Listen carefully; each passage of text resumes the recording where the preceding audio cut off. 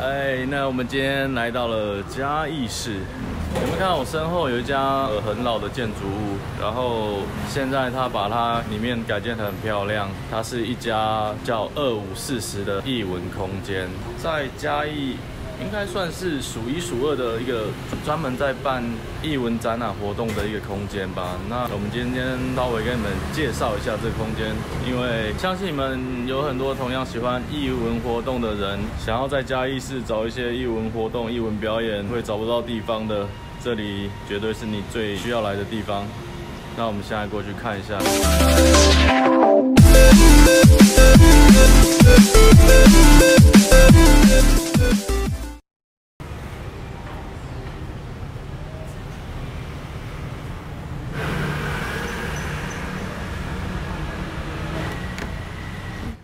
这是我们的老板易珍姐。嗨，那我们现在请我们的老板替我们介绍一下这家店为什么叫二五乘以四十。就很简单，二十五岁想开店，然后一直到四十岁才开了这家店，酝酿了十五年的时间。可是这样人家不就知道你的年纪了吗？还好吧？你会觉得我看起来像几岁？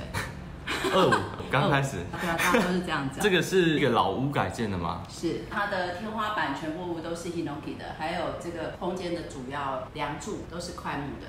那个老墙面是之前就坏掉，然后我把它留下来修复，还可以看到墙面的整个构造。配色，因为我进来的时候，那墙面就以前的颜色就是白色，那我就觉得那就不要让颜色太复杂。那空间的话，我就是尽量让它低调一点，让它保留原样这样子。哦，对。那那平常可以来参观吗？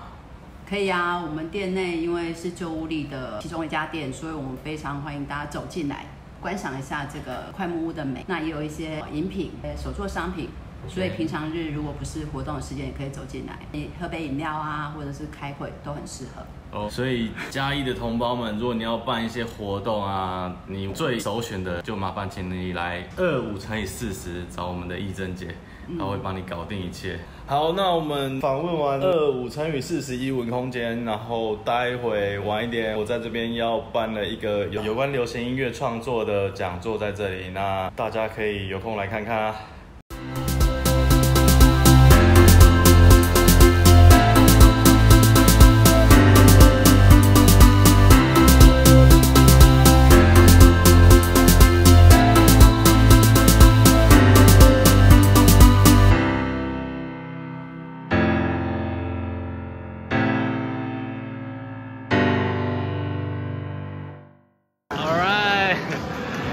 刚才的讲座结束了啊，累死了，超累，肚子饿了。那我们现在带你们大家来嘉义一个最强的宵夜，排队排成这样，每天都是排成这样。然后我们 Outdoor Boys 需不需要排队呢？还是要排队？没有特权，我们没有特权。希望未来我们来这里不用排队。真真卖蚵仔煎，我觉得他们的海鲜意面非常好吃。然后还有嘉义著名的特产。石木鱼肚，还有鱼肠。石木鱼的英文怎么讲？不会吧？在下面留言。不是 milk fish。哎，对，milk fish。我知道。Out boy 很国际化的。下一个就换我们了。他大概等了二十分钟了。哇！你看这蚵仔煎，老板认出我们了，他给我们豪华版蚵仔煎，比隔壁桌厚了一倍。Out boy 的特权。满满的料吗？超级豪华！我点了鲍鱼粥，是鲍鱼，会不会是杏鲍菇啊？假装鲍鱼哦，不要骗我！那真的厚度，加料的，这绝对加料的。你看旁边的没有那么厚啊！我们开始吃哦！啊，爽了！那我要吃我的鲍鱼粥了。现在在我身上。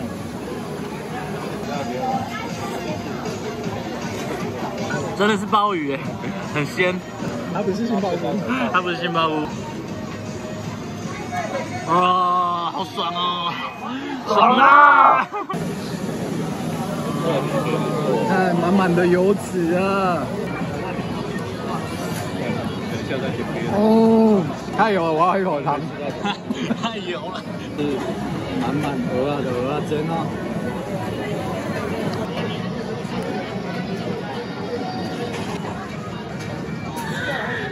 好，爽啊！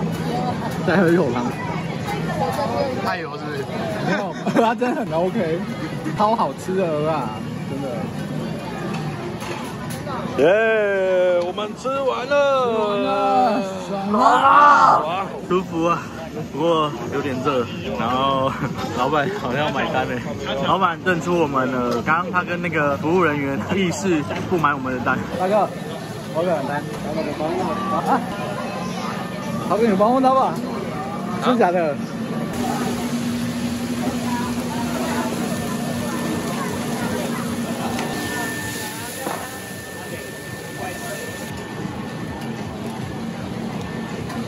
那我们今天的节目就到此告一段落喽。We are out of Boys. See you next time.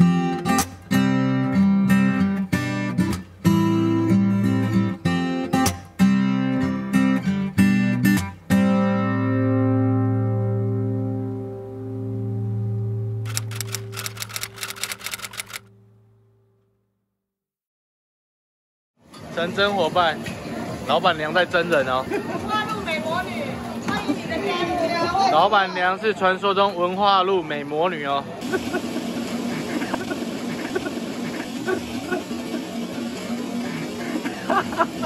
对对对对。来，拜拜。拜拜。